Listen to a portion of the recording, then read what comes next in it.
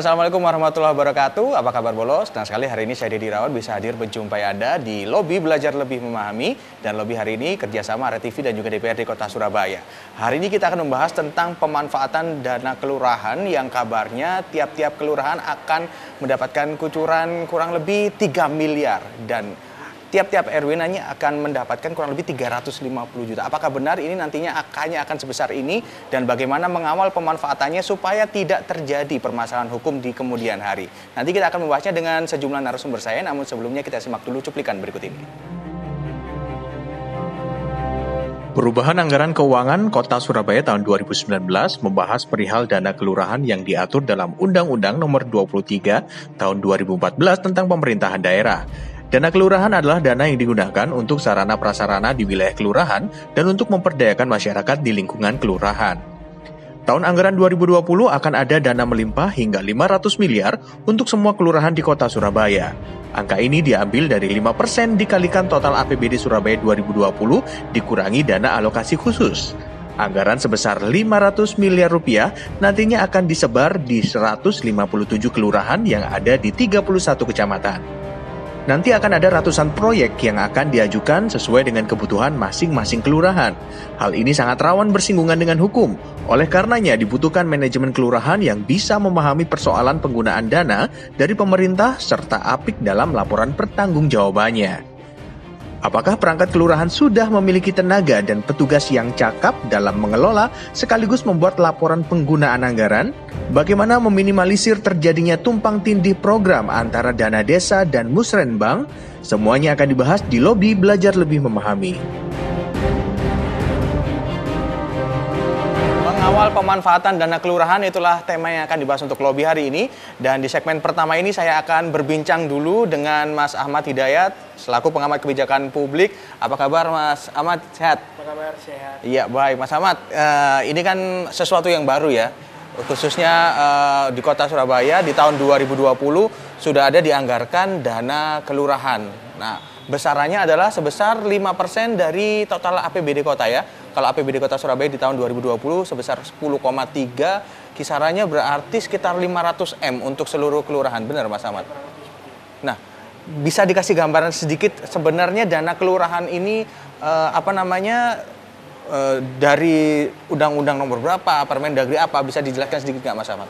Berkaitan dengan dana kelurahan itu diturunkan berdasarkan mhm. Undang-Undang mm -hmm. 23 tahun 2014. Ya tentang pemerintahan daerah. Di situ mm -hmm. disebutkan bahwa kelurahan bisa melakukan pengelolaan ya mm -hmm. untuk pembangunan wilayahnya masing-masing berkaitan infrastruktur maupun pemberdayaan. Untuk mendetailkan daripada undang-undang itu terbitlah peraturan pemerintah nomor 17 tahun 2018 mm -hmm. tentang kecamatan. Mm -hmm. Nah, di sana diatur bahwa setiap kota atau kabupaten itu mengalokasikan mm -hmm. dana kelurahan. Kalau kota mm -hmm. itu tidak memiliki desa, semuanya mm-hmm. kelurahan itu 5 persen daripada APBD dikurangi DAK. Oke. Okay. Itu. Lalu untuk teknis penggunaannya diatur dalam Peraturan Menteri Dalam Negeri nomor mm-hmm. 130 tahun 2018. Oke. Okay. Tentang pembangunan infrastruktur di kelurahan maupun hmm. pemberdayaan masyarakat di kelurahan menggunakan dana kelurahan. Oke. Okay. Itu yang menjadi landasan hukumnya. Oke. Okay. Jadi uh, 5% dari APBD dikurangi DAK begitu ya? Iya. Kabarnya ada penambahan dari DAU? Kurang tahu. Kan? Kurang tahu ya. Iya. Oke. Kisarannya berarti berapa ini Mas untuk di tahun 2020 nanti yang akan diterima setiap kelurahan?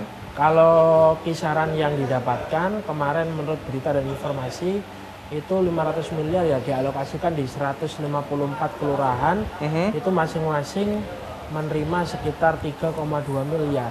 3, itu. untuk APBD tahun okay. 2020 itu. Aha. 3, di, uh, di 31 kecamatan, 150-an kelurahan tadi ya, iya, ya Mas 154 kelurahan. Oke. Okay. Kalau yang tadi Anda bilang ada ini uh, langsung dikelola oleh kelurahan, bukankah di tahun-tahun sebelumnya sudah ada uh, musrenbang semacam itu, Mas Ahmad? Kalau di tahun-tahun sebelumnya memang ada musrenbang, tetapi mm -hmm. itu kan pelaksananya adalah SKPD terkait ya, seperti contoh pembangunan infrastruktur mm -hmm. jalan dan lain sebagainya, pengelolanya dinas PU dan lain mm -hmm. sebagainya. Lalu untuk PJU, dinas kebersihan dan lain sebagainya. Mm -hmm. kalau untuk dana kelurahan ini kan yang menjadi kuasa pengguna anggaran menurut uh, peraturan pemerintah tersebut itu adalah lurah. Gitu. Oke, jadi ini langsung akan dimasukkan ke kas masing-masing kelurahan ya. dananya. Ini tahun 2020 ya. ya. Nah, kalau Anda melihat dengan adanya uh, kabar ini di kelurahan di Surabaya secara garis besar, secara umum Anda melihat mm, sudah siapkah untuk mengelola dan mempertanggungjawabkan anggaran ini? Siap, tidak siap, harus siap. Mm -hmm. Karena ini kan memang amanat daripada undang-undang, peraturan pemerintah dan Permendagri. Mm -hmm. Dan ini adalah salah satu langkah yang uh, terobosan yang sangat baik ya. Mm -hmm. Karena di sini pemerintah mencoba memangkas birokrasi pembangunan. Mm -hmm. Menurut hemat saya seperti itu. Jadi yang mulanya pembangunan dilaksanakan oleh SKPD maupun mm -hmm. pemerintah sekarang bisa lebih dekat. Jadi mm -hmm. ini uh, skupnya bisa lebih mendetail. Habis itu aspirasi masyarakat yang dibawa juga bisa lebih hmm. uh, tersalurkan karena kan tentunya setiap kelurahan memiliki karakteristik yang berbeda dan kebutuhan, kebutuhan yang berbeda, yang berbeda ya pula, oh. gitu. Kalau kalau melihat uh, permasalahan yang dihadapi oleh kelurahan dan desa pastinya kan berbeda ya Mas yeah. Ahmad ya yang paling dibutuhkan untuk perkotaan kota besar seperti Surabaya ini Anda melihatnya uh, dana kelurahan ini bisa dimanfaatkan untuk apa? Kalau menurut kami oh, dana kelurahan kan itu bisa diperuntukkan untuk sarana prasarana ya sarana dan prasarana infrastruktur dan lain sebagainya mm-hmm. tapi juga bisa digunakan untuk pemberdayaan mm-hmm. kalau kita melihat kota Surabaya daripada segi infrastruktur sudah luar biasa maju dan baik mm-hmm. nah, oleh karena itu uh, saran kami agar dana kelurahan ke depan itu bisa diperuntukkan untuk uh, kegiatan pemberdayaan masyarakat mm-hmm. yang di mana dalam uh, Permendagri 130 tahun 2018 diatur di antaranya untuk pemeliharaan apa kegiatan Babin Kantipmas, keamanan hmm. lingkungan hmm. dan lain sebagainya hmm. itu bisa.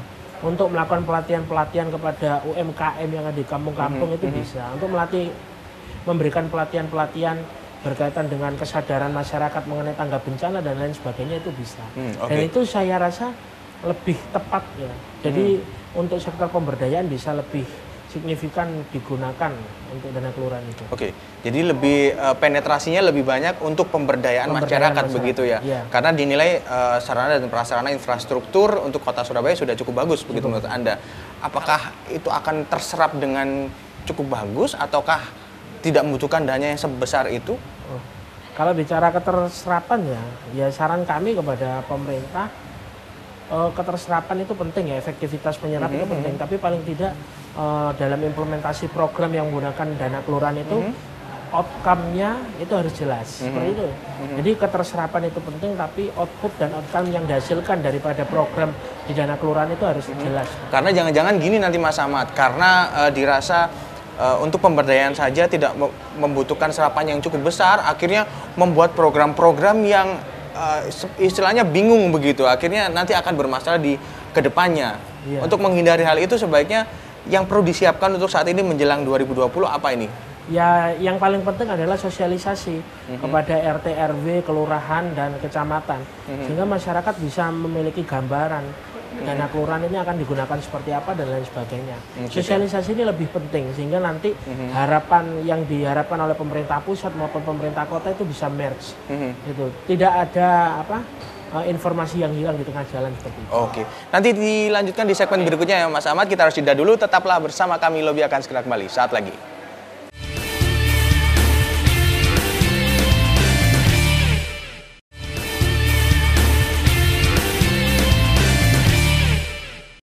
Ya, kembali lagi bersama kami di Lobby Belajar Lebih Memahami dan kami masih membahas tema mengawal pemanfaatan dana kelurahan bersama dengan Bapak Bakyono, Ketua Komisi C DPRD Kota Surabaya.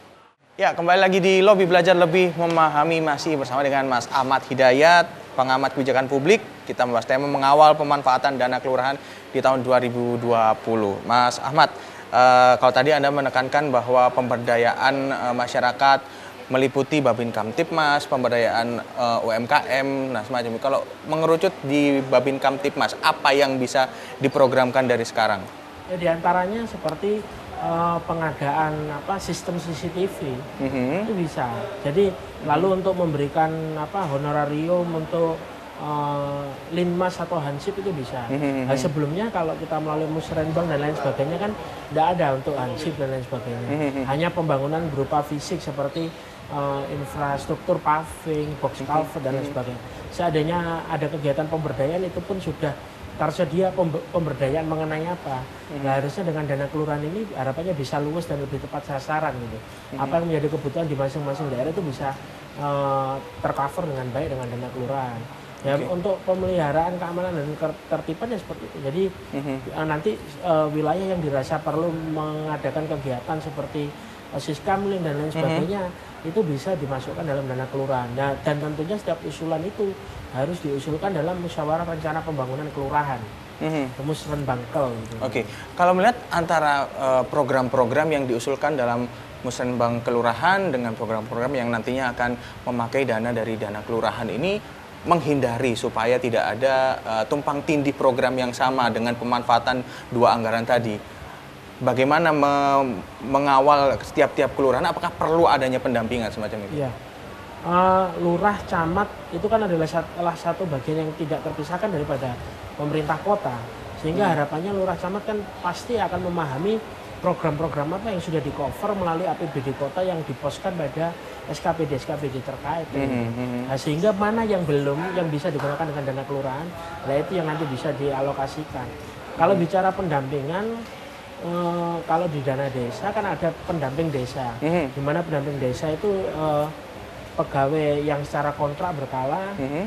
itu dari Kementerian Desa kan gitu. Mm -hmm. nah, kalau dana kelurahan memang dirasa perlu untuk mendampingi lurah untuk proses asistensi pelaporan dan lain sebagainya hmm. ya kami rasa itu lebih baik untuk melakukan hmm. supervisi pembuatan laporan dan lain sebagainya karena tugas lurah dan jajarannya selain mengelola dana kelurahan kan juga melakukan pelayanan pada hmm. hmm. masyarakat ya saya hmm. rasa lebih baik kalau ada asistensi kalau untuk kota sebesar Surabaya dengan uh, apa namanya kelurahan total yeah. ada 154 tadi menurut anda saat ini posisinya sangat dibutuhkan atau tidak begitu dibutuhkan kalau pendampingan semacam menurut ini? pendapat saya sangat dibutuhkan. Uh -huh. Karena kota yang sebesar ini 154 kelurahan, 1405 uh -huh. RW dengan uh -huh. kurang lebih 2,7 juta penduduk. Uh -huh. Tentunya tugas kelurahan kan tidak hanya melak apa, melakukan alokasi dan proses pembangunan melalui dana ya, jadi administrasi dan lain sebagainya. Hmm. Ada pelayanan administrasi kependudukan, hmm. ada pelayanan apa pengentasan kemiskinan dan lain sebagainya itu yang menjadi tanggung jawab kelurahan. Nah tentunya itu butuh untuk apa Eh, melakukan pendampingan maupun supervisi. Kalau sedikit berkaca dari uh, sudah berjalannya program dana desa begitu semenjak 2015, ada kurang lebih sekitar 400 hmm. kasus yang akhirnya kepala desa yang terseret kasus hukum karena pemanfaatan dana desa yang tidak sesuai. Nah, untuk menghindari hal itu sebaiknya apa yang perlu diwaspadai oleh masing-masing kelurahan nantinya supaya tidak ada permasalahan hukum nantinya? Saran kami bahwa penggunaan dana kelurahan ini kita tidak perlu ketakutan ya. Mm-hmm. Jadi ini memang kewajiban undang-undang yang harus kita laksanakan untuk mendistribusikan mm-hmm. keadilan sosial bagi masyarakat. Mm-hmm. Nah, oleh karena itu memang ini pertama kali turun mm-hmm Nah, lurah dan camat pada proses awal-awal ini harus giat untuk melakukan konsultasi mengenai penggunaan, mm-hmm. lalu aspek hukum menabrak aturan atau tidak itu harus lebih sering, mm-hmm. sehingga untuk menghindari hal-hal yang tidak diinginkan seperti mm-hmm. penyalahgunaan dan lain sebagainya mm-hmm. itu. Kalau dari uh, pemerintah kota, apakah sudah ada rumusan program-program apa saja yang uh, kurang lebih bisa menjadi pilihan bagi masing-masing lurah untuk memanfaatkan dana kelurahan ini, Mas? Nah, untuk uh, pemerintah kota mungkin kami kurang tahu ya, mm -hmm. karena ini juga uh, kami mengamati saja dari luar. Mm -hmm. Saya rasa nanti bisa apa ditanyakan ke kawan-kawan yang ada di pemerintah kota maupun DPRD. Mm -hmm. Oke. Okay. Kalau selama ini kan seperti uh, musrembang itu disampaikan oleh usulan dari masyarakat yeah. dan dikerjakan oleh SKPD yang terkait begitu yeah. ya, Mas? Dan ini nantinya kalau untuk ini nantinya dana kelurahan sudah tidak ada campur tangan dari dinas terkait lagi ya? Ya untuk musrenbang usulan yang melalui SKPD maupun dinas ada tapi untuk dana kelurahan ini kan nanti dilaksanakan langsung melalui anggaran yang ada di mhm. kecamatan dengan kuasa pengguna anggarannya adalah lurah gitu jadi mm -hmm. bisa langsung uh, dilaksanakan oleh masing-masing ya. melalui pokmas atau uh, lain sebagainya kalau dari apa yang uh, ditampung oleh uh, masyarakat masih ada kerancuan antara pemanfaatan dana apa namanya dana kelurahan dan juga musrenbang lebih banyak suara yang muncul adalah pembelian sarana dan prasarana. Kalau menurut anda masih kurang luaskah pemahaman tentang pemanfaatan dana kelurahan ini di masyarakat, Mas Ahmad? Iya, memang uh, di awal ini kan memang masih ada beberapa pesan yang belum mm -hmm. tersampaikan mengenai dana mm -hmm. kelurahan ya kalau digunakan untuk pembangunan sarpras itu memang diperbolehkan seperti hmm. posyandu dan lain sebagainya hmm. itu boleh PAUD ya sarana hmm. PAUD pendidikan anak usia dini boleh tetapi kalau digunakan untuk membeli kursi terop dan lain sebagainya yang tiap RT membutuhkan hmm. itu sampai saat ini ya belum belum ada pun yang memperbolehkan itu hmm. oleh karena itu memang masyarakat membutuhkan sosialisasi hmm. dan di sini tugas lurah kecamatan bekerja sama bagaimana mensosialisasikan dana kelurahan itu apa, besarnya seberapa, penggunaannya seperti apa, mekanisme penggunaannya seperti apa, pengusulannya hmm. seperti apa. Itu tugasnya. Dan ini kan akan mengerucut lagi dari kelurahan langsung disetorkan ke uh, eh, RW ya? Uh, tidak, tidak tidak berupa uang seperti tidak itu. Berupa berupa tapi program, pengajuan program ya. Berupa program baik hmm. sarpas maupun program pemberdayaan. Hmm. Tetap yang pegang uang selaku kuasa pengguna anggarannya ya lurah. Oke, okay. kalau kita melihat kan mungkin di setiap eh, masing-masing uh, kelurahan uh, memiliki tingkat kebutuhan perekonomian yang berbeda. Sedangkan apakah ada pembagian nominal yang berbeda di masing-masing kelurahan ataupun uh, RW RT RW nantinya ini Mas Kalau sementara ini atau dipukul rata sama semua. Kami, kan kita berasumsi dari anggaran hmm. yang 500 M dibagi kelurahan dan hmm. juga RW. Hmm kurang lebih seperti itu. Tapi nanti untuk pembagian apa itu kan teknis mm-hmm. yang dibahas antara pemerintah kota bersama DPRD. Mm-hmm. Bagaimana alokasi di tiap lurah, kelurahan maupun mm-hmm. tiap RD seperti itu. Kalau anda melihat nih di uh, eh, DPRD sendiri masih ada banyak kekhawatiran akan tersangkut masalah hukum di belakang hari begitu mas. Ini berarti memang masih ada ketakutan begitu mas? Kekhawatiran boleh, -huh. ketakutan boleh, tapi tidak bisa berlebihan. -huh. Karena ya semua kan perangkat negara kan. -huh. seperti apa lurah, camat. -huh. itu memang tanggung jawabnya dibayar untuk itu. -huh. Dan memang ini karena baru pertama dilakukan, yang penting rajin dan giat untuk melakukan -huh. konsultasi terkait dengan -huh. penggunaan dana kelurahan. Pasti tidak ada masalah. Dan saat penggunaan dana itu digunakan seoptimal mungkin sesuai spesifikasi pembangunan dan lain sebagainya pasti tidak ada masalah. Memungkinkan tidak jika nantinya uh, ada ajakan begitu dengan uh, pihak perguruan tinggi untuk mendampingi apa ataupun mungkin jika ada kelurahan yang dirasa membutuhkan uh, pendampingan peran serta dari perguruan tinggi yang ada di Surabaya, Mas Ahmad Hidayat? Sangat memungkinkan sekali hmm. untuk uh, melakukan kerjasama dengan perguruan tinggi dan lain sebagainya berkaitan dengan dana kelurahan sangat memungkinkan hmm. dan tidak dilarang.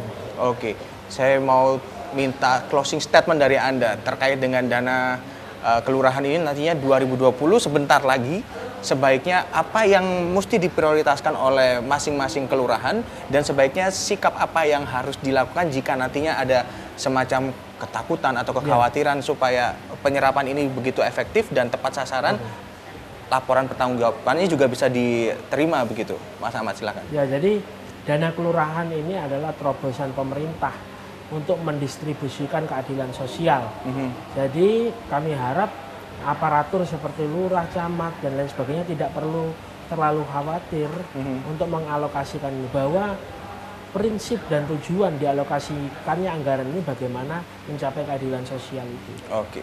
Jadi tidak perlu ada kekhawatiran, yang penting ya. dimatangkan programnya, kemudian kalaupun ada kendala di perjalanannya bisa diaktif dikonsultasikan aktif begitu ya Mas Ahmad Hidayat supaya ya. tidak melenceng dari apa ketentuan, ya, ketentuan, ketentuan yang, yang ada. Oke baik. Terima kasih Mas Ahmad Hidayat atas waktunya.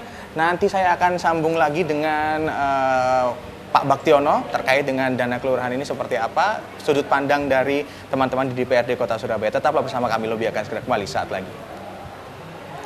Ya, walau pembahasan mengenai pemanfaatan dana kelurahan masih akan kami lanjutkan usia jeda berikut. Tetaplah bersama kami, Lobby akan segera kembali saat lagi.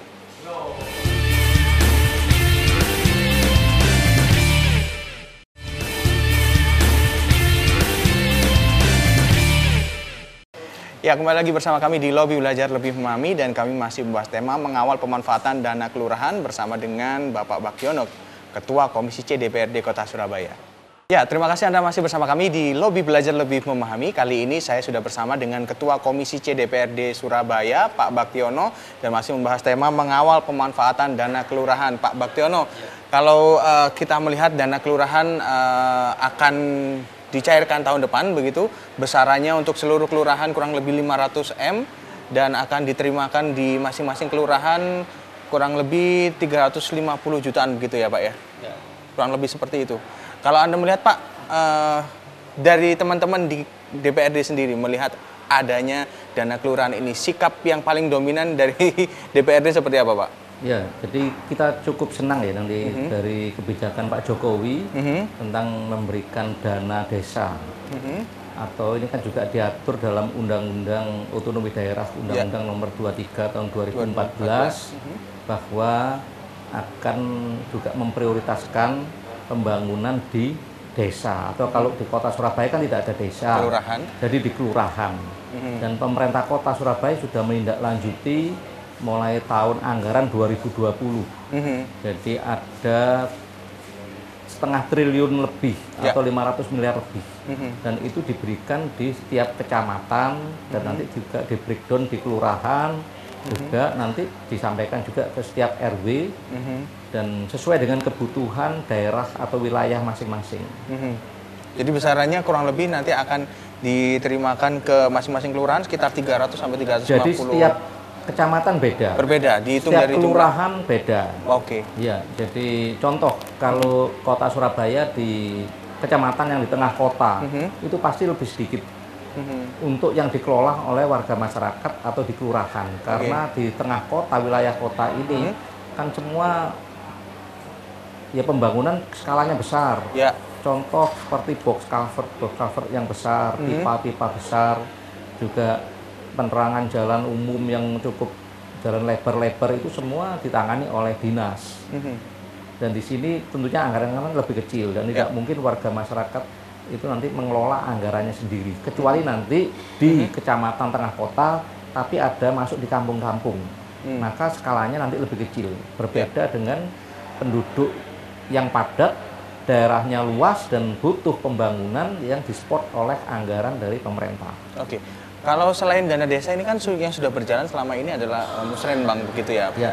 Pak Bagiono. Kalau dari uh, sepengetahuan Anda, Musrembang sendiri lebih banyak pemanfaatannya untuk apa saja selama ini, Pak? Ya, jadi musyawarah pembangunan atau musrenbang mm -hmm. yang di tingkat kelurahan itu kan mengundang warga masyarakat, RW, RW, LPMK, BKM dan tokoh-tokoh masyarakat. Mm -hmm. Jadi sekarang ini metodenya yaitu bottom up dari mhm. usulan dari masyarakat apa, terus nanti dibawa ke tingkat kota. Ya. Jadi dimulai dari musyawarah pembangunan di tingkat kelurahan dan mayoritas warga masyarakat itu usulannya yang pembangunan di wilayahnya masing-masing. Mm -hmm. Ada saluran, mm -hmm. paving, penghijauan, mm -hmm. penerangan jalan, mm -hmm. air bersih.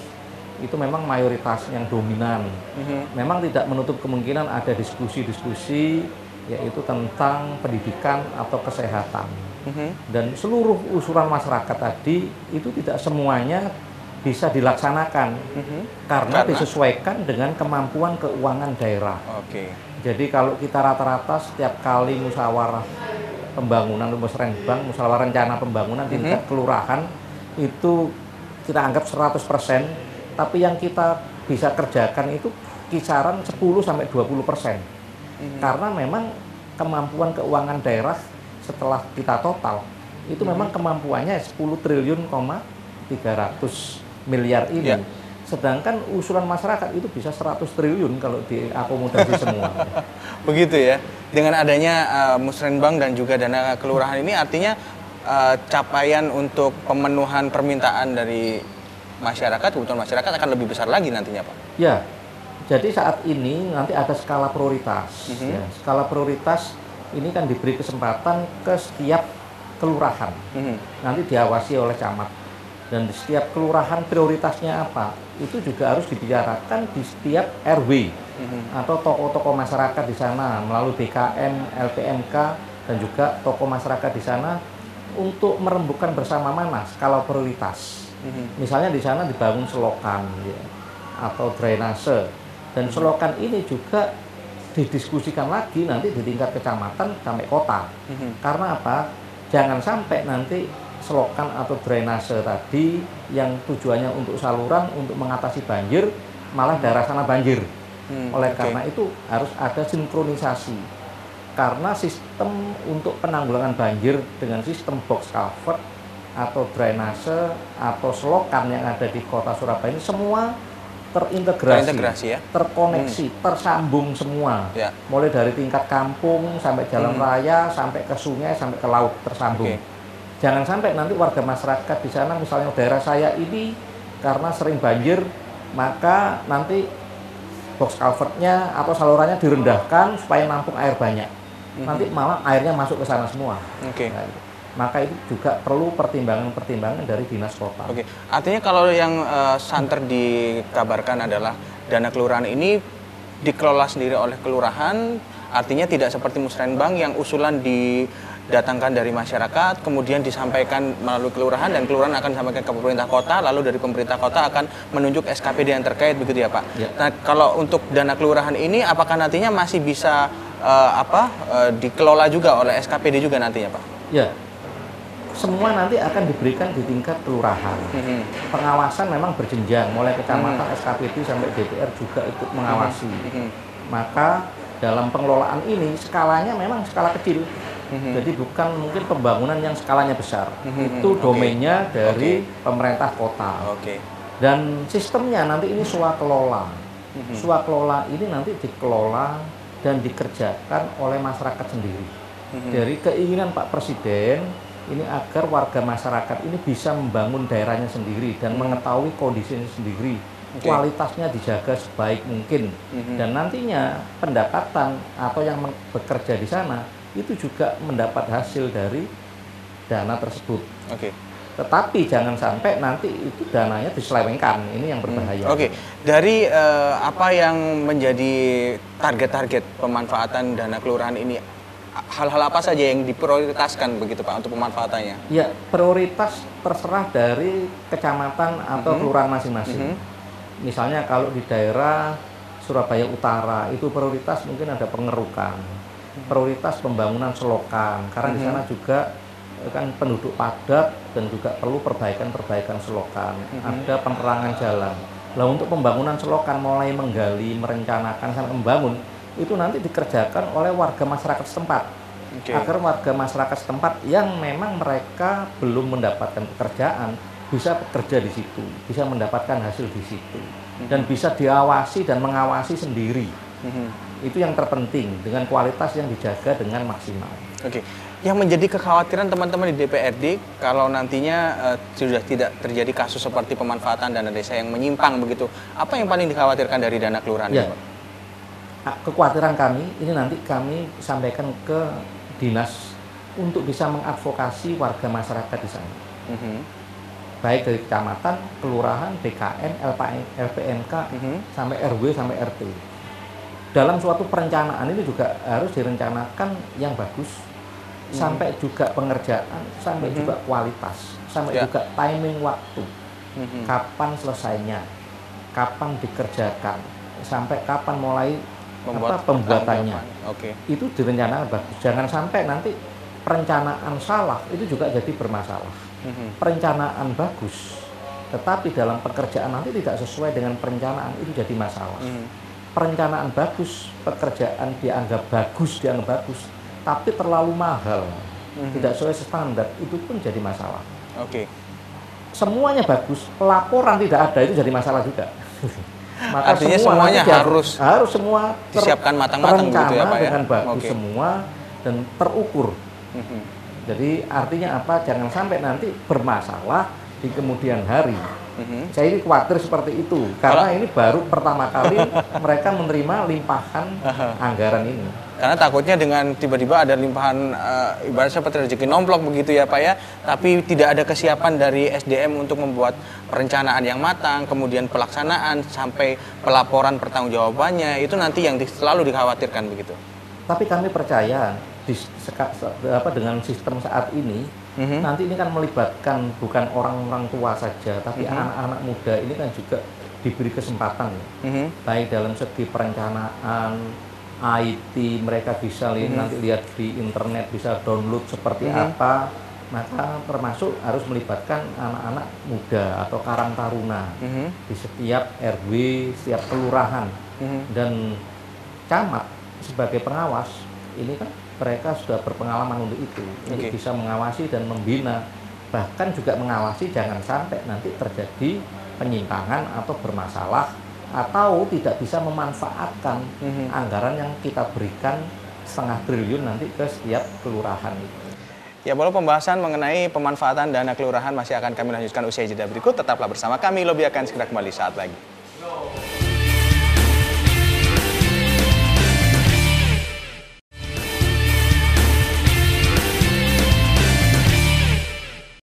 Ya, kembali lagi bersama kami di Lobby Belajar Lebih Memahami dan kami masih membahas tema mengawal pemanfaatan dana kelurahan bersama dengan Bapak Bakyono, Ketua Komisi C DPRD Kota Surabaya. Oke, kalau Pak, eh, ini kan sudah di kurang lebih satu setengah bulan terakhir di tahun 2019. Nah, ini sudah sampai di tahap mana Pak untuk eh, apa namanya menuju ke pencairan dana kelurahan ini? Tahap pertama awal kita sudah musrenbang tingkat kelurahan. Oke musrenbang tingkat kota sudah selesai. Mm -hmm. Masuk ke pemerintah kota. Mm -hmm. Masuk ke DPRD Kota Surabaya. Mm -hmm. Kita sudah sahkan yaitu kebijakan umum anggaran mm -hmm. atau KUA yeah. atau KUA. Dan kita sudah menetapkan plafon prioritas anggaran sementara mm -hmm. atau PPAS. PPAS. Yeah saya sebutkan tadi di awal bahwa usulan masyarakat kita anggap 100%. Ya. Tapi yang kita bisa lakukan itu antara 10 sampai 20%. 20 ya. Sesuai dengan kemampuan anggaran, mm-hmm. sesuai dengan kemampuan mm-hmm. anggaran pendapatan dan belanja mm-hmm. daerah. Di situ kita tetapkan skala prioritas itu apa. Nah, seperti itu. Skala prioritas tentunya yaitu untuk kesehatan pendidikan ini juga memerlukan biaya tidak kecil, hmm. termasuk pembangunan infrastruktur yang totalnya tadi besar, baik ditangani oleh Dinas PU, Bina Marga dan Pematusan, ditangani juga dengan Dinas Cipta Karya Tata Ruang, hmm. juga ada Dinas Kebersihan dan Ruang Terbuka Hijau, hmm. dan ditangani juga kelurahan. Ini anggarannya cukup besar juga. Ini okay. bisa memakan kurang lebih itu 30% dari total anggaran APBD Kota Surabaya. Ya. Kalau Pak ini ada pernyataan dari Sekda Kota Pak Hendro Gunawan yang menegaskan nantinya akan mengikut sertakan kelurahan untuk mendapatkan pelatihan begitu, terutama untuk yang berkaitan dengan pengadaan barang dan jasa. Nah, apakah pengadaan barang dan jasa ini yang sangat dikhawatirkan nanti agar bermasalah di kemudian hari? Ya, ini penting. Aha. Jadi yang menjadi kekhawatiran dari pemerintah kota itu juga akhirnya memberikan pendidikan dan pelatihan. Mm -hmm di tingkat kelurahan. Artinya mm -hmm. apa? Ya lurahnya, ya stafnya, ya RW-nya, mm -hmm. ya toko masyarakatnya, BKM-nya, mm -hmm. LPMK-nya itu nanti juga kalau kami menyarankan ditambah ya anak-anak Karang Taruna itu juga. Mm -hmm. Mereka bisa mengikut sertakan untuk ikut serta juga ya menjadi supervisi juga begitu pengadaan ya, Pak? barang mm -hmm. dan jasa. Karena dalam sistem ini kan sudah ada patokannya. Yeah. Sudah ada panduannya jangan sampai nanti melanggar panduan ini. Uh-huh. Makanya saya sampaikan bahwa perencanaan bagus, pekerjaan uh-huh. tidak bagus itu jadi masalah. Okay. Perencanaan bagus, hasilnya bagus, tidak ada laporan juga jadi masalah. Uh-huh. Makanya agar tidak bermasalah, saya sangat setuju nanti sebelum tahun anggaran 2020 uh-huh. ini sudah ada pendidikan dan pelatihan untuk pengadaan barang dan jasa itu. Oke, kalau dari pemerintah kota sendiri Pak, apakah sudah terlihat adanya uh, penyusunan uh, dalam artinya program-program untuk pendampingan di masing-masing kelurahan seperti itu untuk menghindari kekhawatiran yang selama ini ditakutkan gitu? Iya, jadi setelah kami rapat di Komisi C, kekhawatiran hmm. kami itu juga ditindaklanjuti agar jangan sampai warga masyarakat yang menerima dan akan menerima anggaran ini nanti mereka bermasalah. Oleh karena itu kami juga apa menyampaikan ke pemerintah kota dalam rapat-rapat itu agar mereka terus didampingi. Mhm. Didampingi juga diawasi jangan sampai anggaran yang kita berikan nanti mubasir. Hmm. Anggaran yang kita berikan nanti dengan perencanaan atau keinginan baik kami atau mhm. pemerintah pusat melalui anggaran desa atau kelurahan ini nanti tidak terserap maksimal hmm. kan ada dana waktu itu sampai tidak terserap karena terjadi kekhawatiran yang berlebihan. ada okay. yang baru-baru ini ada yang daerahnya itu ada kelurahannya tidak ada penduduknya laporannya ada uh -huh. tapi pekerjaannya tidak ada ini juga bermasalah yang ajaib ini pak, lain mana ada daerah waktu daerah apa itu daerah hantu atau apa waktu disampaikan itu. Tapi kalau okay. di Surabaya kan tidak ada. Mm-hmm. Semua wilayah, semua daerah ini sudah terhuni dengan penduduknya, juga ada alamat dan juga ada jalannya, ada infrastrukturnya. Tinggal proses perbaikan-perbaikan yang belum dilakukan oleh pemerintah kota ini nantinya akan dikerjakan di tingkat kelurahan oleh warga masyarakat. Oke, kalau melihat kan kota sebesar Surabaya, infrastruktur, e, sarana prasarana kan sudah e, bisa dikatakan cukup baik begitu ya Pak Baktiono. Untuk pengembangan lain selain e, pemenuhan sarana dan prasarana di masing-masing e, kelurahan begitu Pak, apalagi yang bisa dilakukan dengan dana kelurahan ini? Pengembangan sumber daya manusia bisa? Iya jadi di sana itu ada program misalnya untuk pendidikan. Mm -hmm. Di sana ada anak warga yang tidak mampu yang belum tercover. Mm -hmm. Memang pemerintah kota sudah punya perda pendidikan mm -hmm. yaitu wajib belajar 12 tahun. Mm -hmm. Di situ nanti juga kita usulkan kan ada anak-anak yang itu tadi juga ada laporan bahwa di SD ini anak ini akan dikeluarkan karena tidak bisa membeli ini dan itu. Mm -hmm. Nah ini juga nanti diusulkan karena memang di Permendagrinya itu juga memungkinkan untuk bisa bantuan terhadap pendidikan itu termasuk untuk pembangunan-pembangunan apa sumber daya manusia itu okay. dan nanti ini dari usulannya bisa lewat usulan dana ini tapi okay. tidak semuanya nanti diusulkan lewat itu karena apa kalau untuk sumber daya manusia seperti kalau pendidikan hmm. kota Surabaya ini sudah apa melakukan wajib belajar 12 tahun -hmm yang pen, memang penuh itu 29 tahun karena yang tiga tahun sudah SMA SMK diambil alih ya, pemerintah ya? provinsi. Okay. Dan nanti ini juga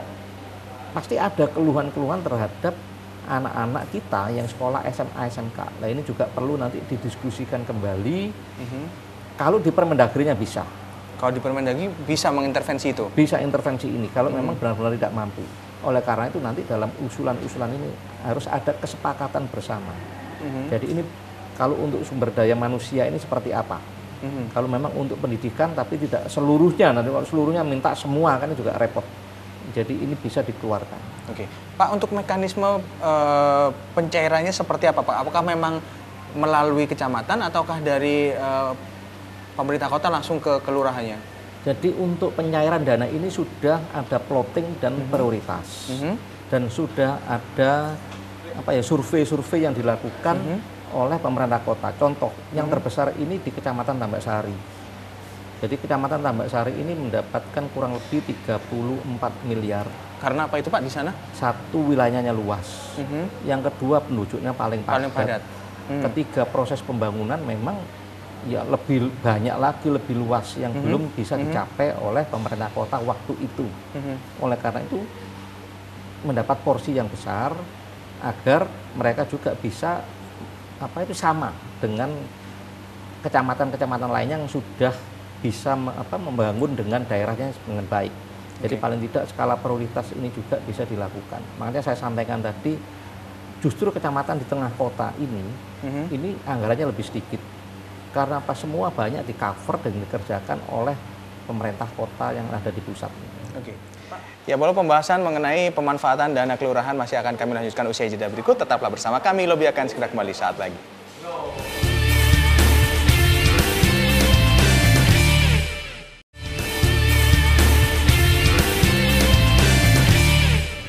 Pak, bagaimana menyikapi supaya tidak ada uh, tumpang tindih program yang sama antara uh, program yang diajukan dalam musrembang dengan uh, nantinya yang akan disampaikan menggunakan dana kelurahan. Bagaimana ini pengawasannya Pak? Nah, makanya ada sinkronisasi. Mm -hmm. Tadi ada pendidikan dan pelatihan. Mm -hmm.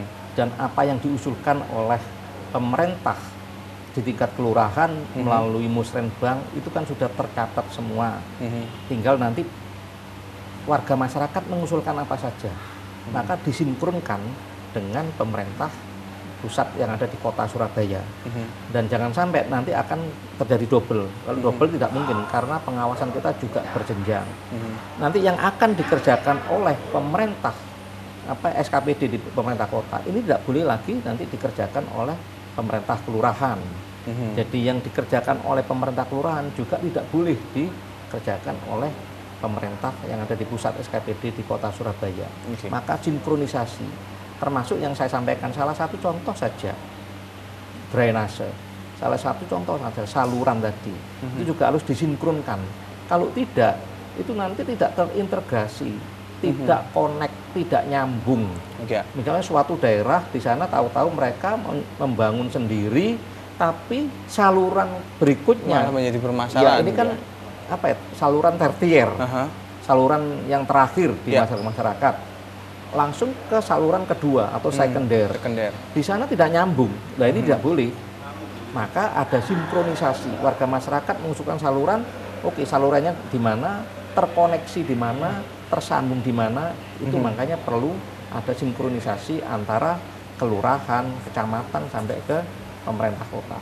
Oke, okay. Kalau dari peran serta masyarakat dalam melakukan satu bentuk pengawasan begitu Pak, supaya benar-benar pemanfaatan dana kelurahan ini bisa berdampak begitu langsung ke masyarakat. Sejauh apa ya. harapannya masyarakat sendiri? Makanya keyakinan Pak Presiden mm -hmm. ini juga harus kita yakini bersama. Mm -hmm. Karena tujuannya agar warga masyarakat itu juga bisa mendapatkan lapangan pekerjaan. Mm -hmm. Warga masyarakat bisa mengerjakan sendiri yang menjadi keinginan warga masyarakat di sana. Mm -hmm. Warga masyarakat bisa menjaga kualitas sama dengan kalau kita membangun rumah kita sendiri. Menjaga rumah kita juga ya Pak? Dengan Betul. anggaran yang ya. ada, ya. yang dianggarkan dengan kualitas yang bagus. Mm -hmm. Masa kita akan apa, bangun dengan kualitas yang terjelek? Ya. Oleh karena itu dengan filosofi yang ini, jangan sampai nanti anggaran yang sudah kita rencanakan sesuai dengan standar pengadaan barang dan jasa mm -hmm. atau standar satuan harga daerah. Ya. Dan kalau dikerjakan itu tidak akan rugi baik dari segala kualitas baik dari segala hmm. apa dari segi pendapatan dari warga hmm. masyarakat hmm. baik dari apa segi mereka yang mengerjakan itu hmm. mereka dibayar itu bukan dibayar murah ada standarnya minimal hmm. kan sesuai dengan upah minimum kota ya. jadi semua standarnya sudah ada ya. standarnya bukan standar jelek tapi semua standar yang sudah kita akui bersama. Mm-hmm. Nah, kalau nanti standarnya itu di bawah itu, misalnya yang mengerjakan harusnya kalau tahun UMK tahun 2020 diperkirakan sampai bisa mencapai 4 juta, misalnya dalam satu bulan. Terus mereka dalam satu bulan bekerja karena mengerjakan itu cuma dibayar 2 juta, itu juga bermasalah. Oke. Okay. Dari segi untuk apa pendapatan warga masyarakat. Mm-hmm. Kalau dari segi kualitas, kualitasnya grade-nya nanti grade 1. Mm-hmm. Ternyata dikerjakan dengan kualitas grade-nya 2 okay. yang nanti tidak bisa bertahan sekian puluh mm-hmm. tahun, mm-hmm. itu juga bisa jadi masalah. Okay. Maka dalam proses pengerjaan apa itu pembangunan di wilayah di tingkat mm-hmm. kelurahan ini atau nanti ke tingkat RW, mm-hmm. itu warga masyarakat kami inginkan bangunlah mereka apa daerah daerah-daerah saudara-saudara mm-hmm. sekalian seperti membangun rumah kita sendiri. Artinya memang dana kelurahan ini bukan menjadi sesuatu yang perlu ditakutkan jika memang dalam perencanaan, realisasi pengerjaan dan juga e, laporan pertanggungjawabannya sesuai begitu ya Pak. Tidak ada hal-hal yang di apa namanya disampingkan tidak sesuai dengan perencanaan semacam itu. Jadi nggak perlu khawatir sebenarnya. Dana yang kita kucurkan di mhm. tingkat mm -hmm. langsung ke masyarakat harusnya menjadi berkah dan mm -hmm. kita sambut dengan sukacita semua. Mm. Karena apa? Ini memang apa makna dari otonomi daerah itu seperti itu. Mm. Jadi bukan sentralistik dikerjakan oleh pemerintah pusat saja mm. atau pemerintah pusat di kota mhm. Surabaya mm. saja, tetapi bisa dilaksanakan warga sendiri. Mm. Ya ini konsep gotong royong itu seperti okay. ini. Baik. Jadi warga masyarakat bisa membangun secara bersama-sama mhm. seperti filosofi waktu masyarakat di desa waktu itu. Mm -hmm. Mereka membangun saluran secara bergotong royong. Bahkan itu waktu zaman dahulu mm -hmm. itu menggunakan uangnya sendiri. Mm -hmm. Mereka okay. membangun rumah warga juga bau membau. Ada yang mm -hmm. membantu makanan, yeah. ada yang membantu bahan bangunan, ada yang membantu tenaga. Yeah. Itu konsep gotong royong. Uh -huh. Dan saat ini karena kita sudah apa ada pendapatan yang luar biasa di kota Surabaya kita sampaikan anggaran itu untuk bisa digunakan membangun secara gotong royong bersama-sama dan juga dijaga kualitasnya secara hmm. bagus dan mendapatkan penghasilan dari itu hmm. juga cukup sesuai dengan standar undang-undang yang ada. Supaya nanti uh, itu tadi sistemnya swakelola tadi ya Pak ya? Sistem swakelola ini mm -hmm. artinya dikelola sendiri dikelola oleh sendiri. masyarakat dan dikerjakan, diawasi Baik. bersama-sama secara gotong royong. Ini konsep negara Pancasila seperti Baik. ini.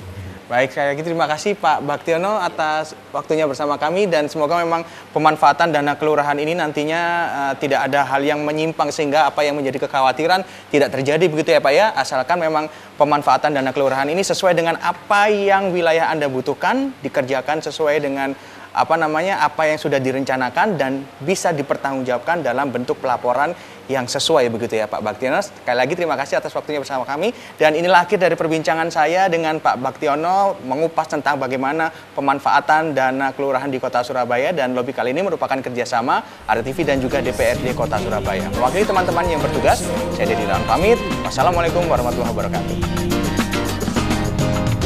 Bersama di